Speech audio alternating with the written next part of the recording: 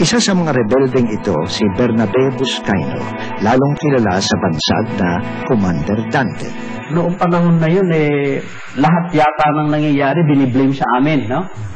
Ah, nag, nag, ah, nung nga panahon na yun, eh, nagagalit kami at ah, nag-iisip, sino kaya itong, ano, itong, eh, eh, itong ah, gumagawa ng ganitong intriga, ano, iniisip namin, merong nag, nagpapaawa, uh, ano, Ah, marami kami pinaghihinalaan. Pinaka, pinaka, ano, pinaka malapit na, na, na, na may tuturo mo, may tuturo mo kasi ang mga grupo ni Marcos, ano? Narito ang ating konstitusyon. Ang haligan ng ating mga pag-asa. Samantala, namumuo ang iba pang klaseng kaguluhan sa Constitutional Convention o CONCON. Inihalal ang CONCON para palitan ng 1935 Constitution na ginawa pa noong panahong ang Pilipinas ay isang kolonya ng Estados Unidos. Dahil sa pagmamaniobra ng mga delegadong makamarcos, hindi nabigyan ng sapat na atensyon ng mga reformang panlipunan at pang-ekonomiya. Sa halip, ang napagbuhusan ng panahon ay ang mga panukalang palitan ang sistema ng gobyerno mula sa presidensyal tungo sa parlamentaryo. Ang napagtuunan ng pansin ay si Marcos. This was the great desire of our forebears, their one vision, their one dream, the dream of freedom. And today, at last, Nanggaling ang unang birada sa delegado ng Cebu, si Napoleon Rama. Nagharap siya ng resolusyon na tahasang nagbabawal kay Marcos na tumakbo para sa pangatlong term. Sinuportahan ng mayorya ang resolusyon. Ang kasunod na hakbang ni Marcos ay inilantad ni Eduardo Quintero, delegado ng Leyte, at kababayan ni Imelda Marcos.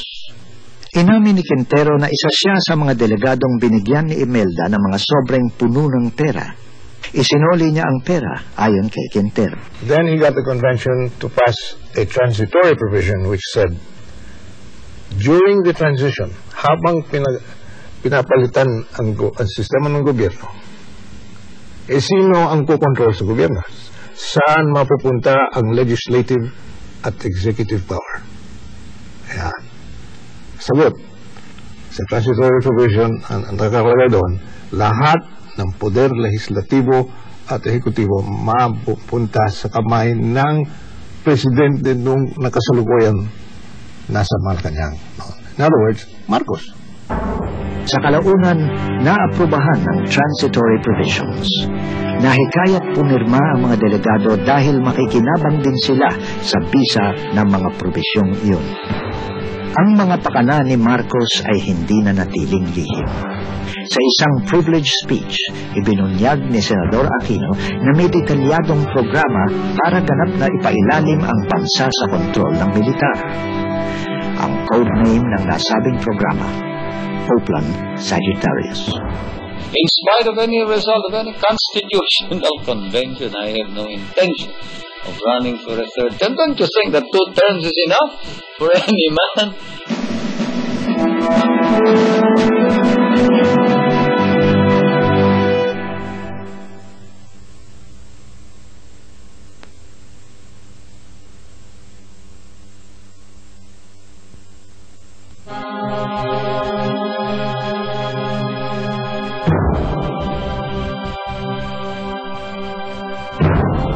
Oakland Sagittarius. Blueprint ng martial law ayon kay Ninoy Aquino. Ang planong ginawa para sa pagpapatupad ng batas militar. A lot of publicity has been made on Sagittarius. And they claim that it was the plan that uh, ushered in martial law, which is not correct. Our plan Sagittarius was a contingency plan on how to utilize the forces of the armed forces, the, the elements of the armed forces in case of any trouble. Si General Romeo Espino ang Chief of Staff ng Armed Forces of the Philippines noong panahong iyon.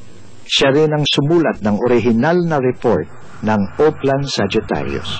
Iginiit ni Espino na ang Oakland Sagittarius ay isa lamang emergency plan para tumugon sa sitwasyon sa Mindanao at ilang lugar sa Luzon.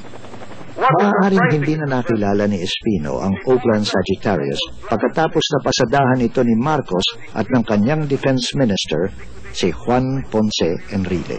Arriving by helicopter at Camp Aquino, Tarlac, Secretary of National Defense Juan Ponce Enrile was met by the top brass of Task Force Lawin and the Army. Kasunod ni Marcos, si Juan Ponce Enrile ang pinakamakapangyarihang opisyal ng gobyerno pagkatapos ideklara ang martial law. Hinirang siyang martial law administrator at sa unang walong buwan ng rehimeng militar, siya ang namumuno sa mga meeting ng cabinet sa kanyang opisina sa Camp Aguinaldo.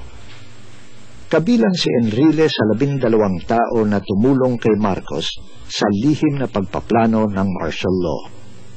Binubuo ng sampung matataas na opisyal militar at dalawang sibilyan, ang grupo ay nakilala sa bansag na Rolex 12. Ito ay dahil binigyan daw ni Marcos ang bawat isa sa kanila ng mamahaling relong Rolex.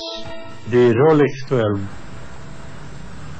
12, which incidentally is not the proper term because what were given were not Rolex gold watches but but uh, almost fake Omega watches that uh, all faded in a few months. Ayon sa librong Waltzing with a Dictator na sinulat ni Raymond Bonner, ang Rolex 12 ay binubuo ng sumusunod. Defense Minister Juan Ponce Enrile, General Fabian Ver ng National Intelligence and Security Authority, pinuno ng Presidential Security, General Romeo Espino, Chief of Staff ng Armed Forces of the Philippines. General Fidel Ramos, pinuno ng Philippine Constabulary o PC. General Rafael Sagala, pinuno ng Philippine Army. General Ignacio Paz, pinuno ng AFP Intelligence. General Jose Rancudo ng Philippine Air Force.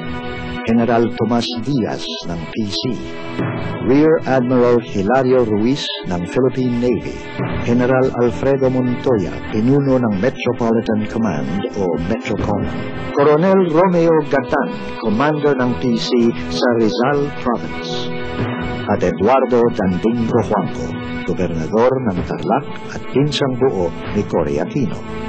Maaaring ang papel ni Dandingo Juanco sa Oakland Sagittarius ay tiyaking mananatiling kontrolado at tahimik ang Tarlac, kilalang balwarte ni Ninoy Aquino. Hindi lahat ng kasama sa Rolex 12 ay nakakaalam sa lahat ng detalye ng Oakland Sagittarius. Ayon kay Ruben Canoy, oposisyonistang miyembro ng Batasang Pambansa noong 1978, may iba't ibang bahagi ang plano. Sina Marcos at Enrile ang nagplansya ng mga aspetong legal para mapalabas na lehitimo ang martial law. Ang mga opisyal militar naman ang namahala sa pagpapatupad ng plano. Dahil ang presidente ang commander-in-chief ng sandatahang lakas, iilan lamang ang opisyal militar na nagpahayag ng pagtutol sa emergency room.